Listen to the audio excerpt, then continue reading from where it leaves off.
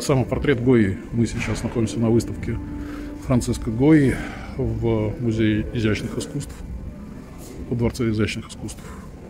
Здесь около 15 картин Гои, Делакруа и небольшая подборка замечательных его литографий. Вот. Ну, вот так он выглядел в 15 году за 13 лет до смерти. И это самопортрет Гои, написано чуть раньше. Как мы видим, художник был благообразен лицом.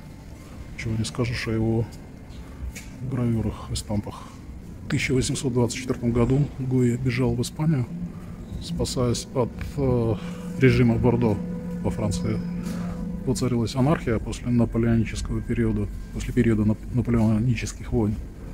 И вот, собственно, это портрет женщины в черной мантилье, сделан в Испании. А это очень большое полотно, коммерческое. Марианна Вальдштейн. Написано также в Испании. Но Гойя также с большим удовольствием рисовал не селебритис тех времен, а, но вот молочница из Бордо. Замечательная, простая по своей цветовой гамме картина.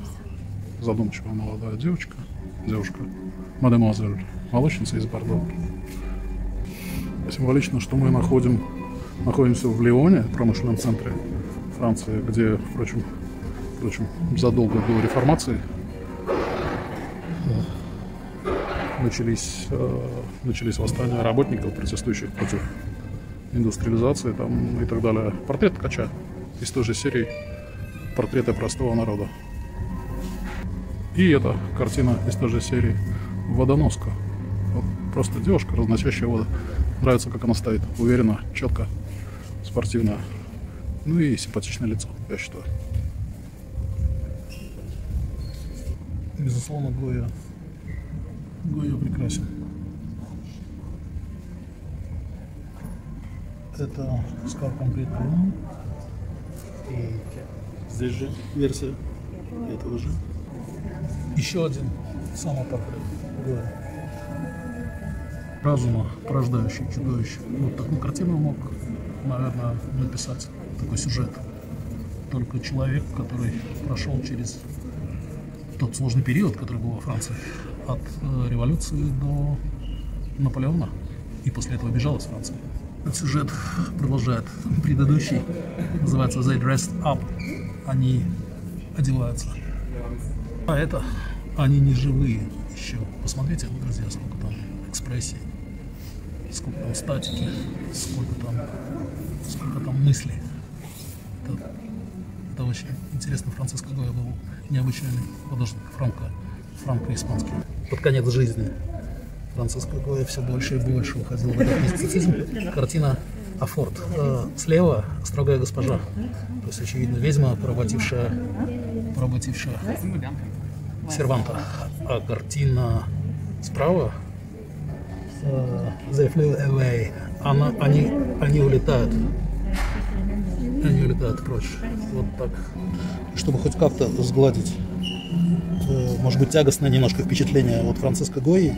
Конечном счете, это человек, живший сложное время, больной, наверное. Я не психиатр, чтобы ставить ему диагноз.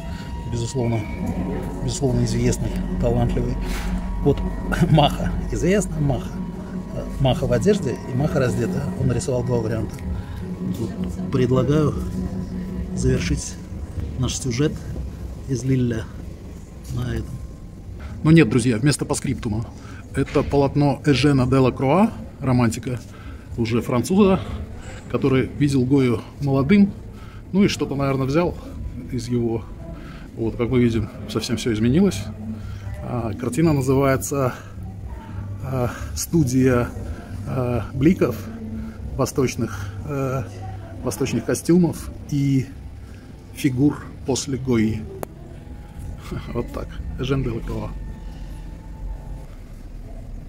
Влог, дзен-влог Дмитрий Март. Уникальные и удивительные статьи. Надеяться, что вам понравился сюжет о художнике Франциско Гои и его искусстве. Какую из картин Гои вы хотели бы повесить у себя дома, друзья? Для тех, друзья, кто пришлет первым интересный ответ, в рандомном порядке, наверное, среди, среди первых трех будет разыгран, разыгран небольшой приз нашего канала, друзья. Вот. Может быть, не такой страшный. Хотя он прекрасный тоже. Все страшнее и страшнее, друзья. Страшнее и прекраснее. Ужасающая красота. Это череп Франциско Гои. Авторство Дионисо Фирес Альварес. Э, как и у Бетховена после смерти Гои, написано здесь, сложилось много легенд него.